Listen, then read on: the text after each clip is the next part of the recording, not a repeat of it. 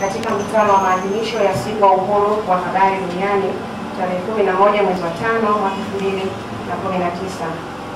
Mheshimiwa mkuu wa mkoa, ofisi ya katibu tawala mkoa, Mheshimiwa mkuu wa wilaya ya Mbozi, wakuu wa wilaya ya Momba, Ileje na Songwe, mwenyekiti wa halmashauri zote za mkoa wa Songwe, wageni waalikwa wote, mabibi na mabwana, waandishi wa habari, awali ya yote namshukuru Mwenyezi Mungu mwingi wa rehema. Aidha, nitumie fursa hii kukushukuru wewe binafsi mgeni rasmi na wageni wengine wote kwa kukubali mwaliko wetu na kuhudhuria maadhimisho haya kwa njia mkutano na wadau. Kwa haya yote, asanteni sana na pia karibuni sana. Tunategemea mengi kutoka kwenu ili kufanikisha mkutano huu kwa faida ya mkoa wetu. Mheshimiwa mgeni rasmi, klabu ya waandishi wa habari mkoa wa Songwe ni taasisi inayosimamia tasnia ya habari chini ya mwamvuli wa Umoja wa Klabu za Waandishi wa Habari Tanzania utc ambao ni wafadhili wetu wakubwa na ni klabu ya 27 kusajiliwa chini ya umoja huo. Klabu hii ilianzishwa mwaka 2017 ikiwa na wanachama 16 kati ya wanahabari 42 walioko mkoani hapa na hadi kufikia leo klabu ina wanachama 32, kati ya hao wanawake ni nane na wanaume ni 24. Aidha, jitihada zinafanyika kuwahamasisha wengine kujiunga ikiwa ni pamoja na kuwashirikisha katika mambo mbalimbali pasipo kuwabagua, kujali kama ni wanachama au la, ili nao waweze kuona umuhimu wa kujiunga na klabu hii. Naona kabisa nafasi ya waandishi wa habari katika mapambano dhidi ya rushwa kwenye mkoa wa Songwe ni kubwa sana. Tunashukuru na tunaomba mwendelee kutunga mkono siku zote kufichua sehemu ambazo unaona kuna mianya ya rushwa. Bila vyombo vya habari, taifa haliwezi likaendelea katika eneo la mapambano dhidi ya rushwa. Ukizingatia katika serikali yetu ya awamu ya tano imejipambanua kabisa kwamba eh, ufisadi, rushwa, usimamizi mbovu wa miradi ya maendeleo inapigwa vita kwa kila namna. Kwa tunaomba mtuunge mkono, tunaenda kwenye uchaguzi wa serikali za mitaa. Sisi wanahabari lazima tufichue vitendo vya rushwa katika uchaguzi wa serikali za mitaa. Nachofahamu mimi, majukumu ya wanahabari yako matatu muhimu. La kwanza ni kutoa habari, la pili kuburudisha, na la tatu ni kutoa elimu. Ndugu wanahabari, TANESCO ni miongoni mwa taasisi zinazonyoshewa vidole sana, uongo kweli? Na zinaweza zikanyoshewa vidole kwa sababu tu ya kutojua na nani anapaswa kuwaelimisha wananchi. Nyie kama waandishi wa habari mna nafasi kubwa sana ya kuondoa hii sitofahamu kati ya TANESCO na wananchi.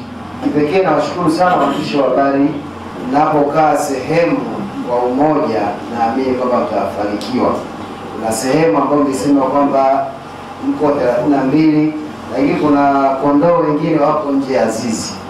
Kuna uwezekano hawa wakawa ni wachache, lakini wakawaharibia umoja wenu. Mkoa wa Songwe tumetangaza kwa kupitia mapato. Haya mapato hizi taarifa pia, hata nyie waandishi wa habari mnatusaidia katika kuhamasisha, kutoa taarifa kwa jamii. Maendeleo katika mkoa wa Songwe tunategemea ataletwa na sisi wenyewe kwa ushirikiano na kwa ushindani. Sasa katika sekta binafsi tuna matatizo mengi, na tunadhani tukishirikiana vizuri na ninyi waandishi wa habari, inawezekana tukapiga hatua, na ndio wito wangu kwenu kupitia kwako mwenyekiti na waandishi wote tulioko hapa tafuteni namna ya kutusaidia kuhamasisha wafanyabiashara wajue kwamba serikali imeleta fedha nyingi katika mkoa wa Songwe. Niwashukuru sana waandishi wa habari. Katika taifa lolote ambalo linapata maendeleo, mchango mkubwa unatoka kwa waandishi wa habari, kwa sababu nyie ndio mnaweza kusema fursa zilizopo, lakini mnaweza kueleza mabaya na mazuri ambayo yapo. Kwa sisi kama chama tunategemea sana waandishi wa habari. Ombi langu kwamba tuendelee kushirikiana kama tulivyoanza hivi, tuendelee kuboresha ili tulete maendeleo katika mkoa wetu na katika taifa letu pia.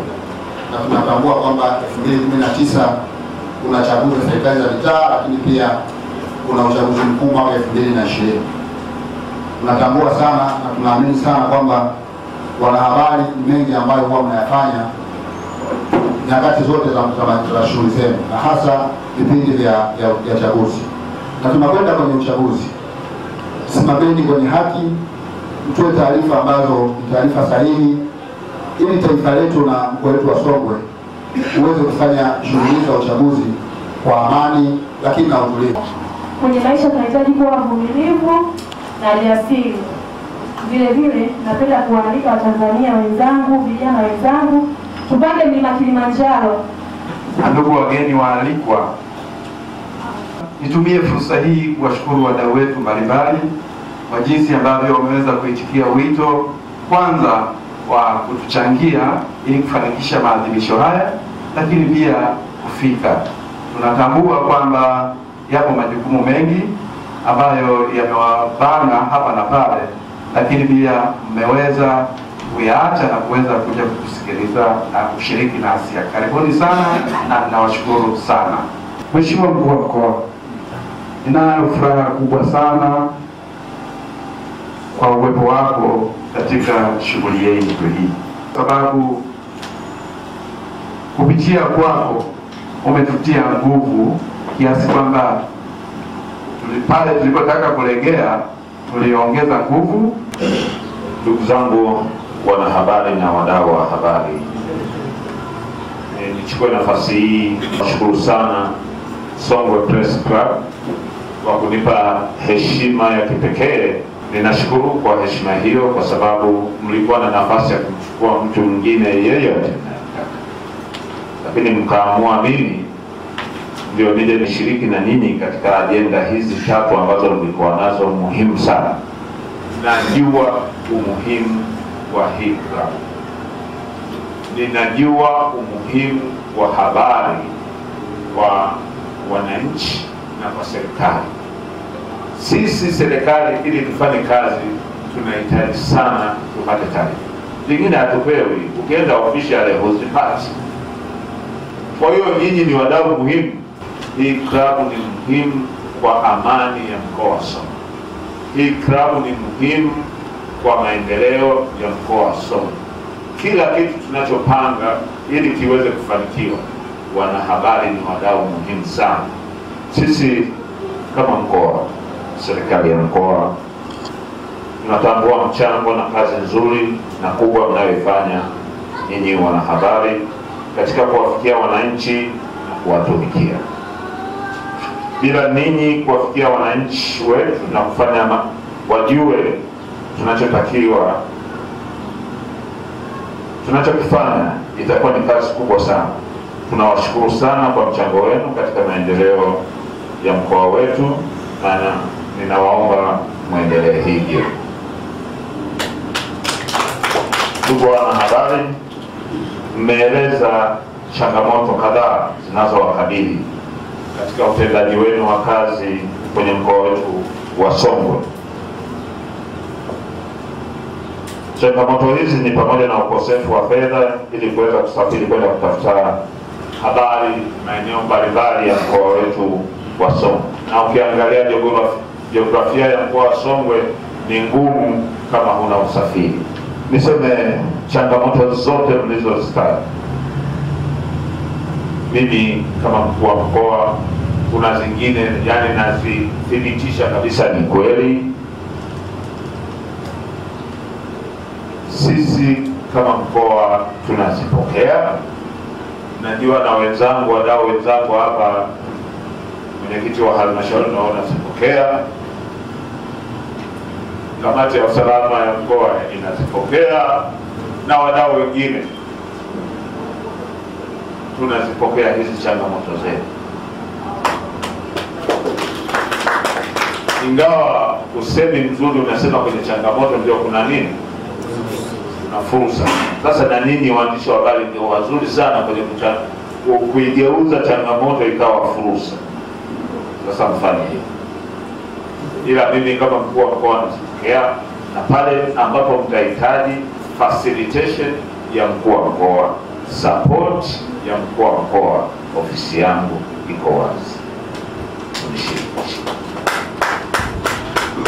Zingine hamkuzitaja, lakini sisi wenye macho huambiwi ona. Hamkuzitaja, lakini sisi tunaziona. Changamoto zote mlizosema, kwa kweli mimi nazipokea, zinazohusu mkoa sisi tutazifanyia kazi, lakini na nyinyi za kwenu na wadau hapa mzipokee na mzifanyie kazi. Kitu kikubwa ili uweze kufanikiwa malengo yako yoyote, lazima ujue kuishi na watu vizuri. Hatuwezi kufanikiwa mambo ya maendeleo, mambo ya amani, mambo yote, tunakwenda kwenye uchaguzi, tunakwenda kwenye nini, kama hatutakuwa na ushirikiano. Nyinyi wanahabari toe ushirikiano na sisi tutawapeni ushirikiano. Ni waase wanahabari wa mkoa wa Songwe, muache tabia zinazoleta migongano, manunguniko kati yenu wanahabari, lakini pia kati yenu na wadau wa habari, na mkiboresha zaidi utendaji kazi wenu, hakika mtakuwa kwenye nafasi nzuri ya kuwafikia wananchi. Wananchi watawaelewa, wadau wa habari watawaelewa, na nyinyi pia mtafanikisha malengo yenu. Mkumbuke historia ya Rwanda vis-a-vis waandishi wa habari. Tunawaomba sana, kila mnapopeleka taarifa, pelekeni taarifa zenye kujenga, hata kama ina matatizo, lakini itapelekea kujenga amani, umoja wetu na uzalendo wetu wa nchi yetu ya Tanzania. Pongeza sana bodi ya wakurugenzi kwa kuamua kutumia siku hii kufanya mkutano wa wadau badala ya sherehe ambayo mngejifungia kala mkanywa peke yenu, lakini nyinyi mmeamua kukusanya wadau wa habari na ninyi wenyewe na kuwa na ajenda ya shirikisha wadau ili mpate maoni, mawazo, ushauri na mtazamo wa wadau wa habari juu ya utendaji wenu wa kazi. Mnajifanyia postmortem, ni nzuri sana. Taaluma yenu hii mlioichagua, najua mlifikiria mara mbili, kurupuka tu. Taaluma hii ina challenge. Taaluma hii kuna wakati kama usipokuwa makini itaondoka na maisha yako. Waandishi wa habari wanauawa, waandishi wa habari wanahujumiwa, waandishi wa habari wanafungwa. Hii siyo kazi ya kuifanyia mchezo. Ndio maana tunasisitiza sana mkasome na mjikite kwenye taaluma taarifa mnazoandika fanya confirmation. Ni profession ngumu, lakini sisi tunachotaka kutoka kwenu ni kitu cha kweli. Ukiandika kitu cha uongo hakitakuweka huru, kwenye ukweli, ukizungumza ukweli itakuweka huru. Hata mtu akikufanyia hiana atakuwa anadhani anakosea. lakini kwa Songwe, baadhi yenu kwa kweli mnafanya kazi vizuri, mimi nawapongeza. Wakati mwingine mnanipigia simu, mheshimiwa, tumeona hiki, mheshimiwa, sehemu fulani kuna hiki. Kwa mfano juzi, kuna waandishi wa habari, sitaki kuwataja, naomba ni wa, majina yao ni wahifadhi, lakini wametoa taarifa za muhimu sana. Eneo fulani kuna hoteli ilikuwa na mambo ya ajabu sana sisi tunapigana na kipindupindu, lakini watu pale kuna vitu vya ajabu vinafanyika. Ukienda pale, ukienda official information ya upasi, lakini waandishi wa wakatuletea, tunachukua hatua pale. Ndio nikathibitisha kwamba hawa watu wako serious, wanaleta za kweli. Tumeshirikiana vizuri kwenye mwenge, nawapongeza sana wanahabari. Kwa hiyo mimi nawapongeza sana waandishi wa habari, tumeshirikiana kwenye mwenge. Sasa hivi kuna swala la Kimondo, Kimondo Marathon mwezi wa sita mwishoni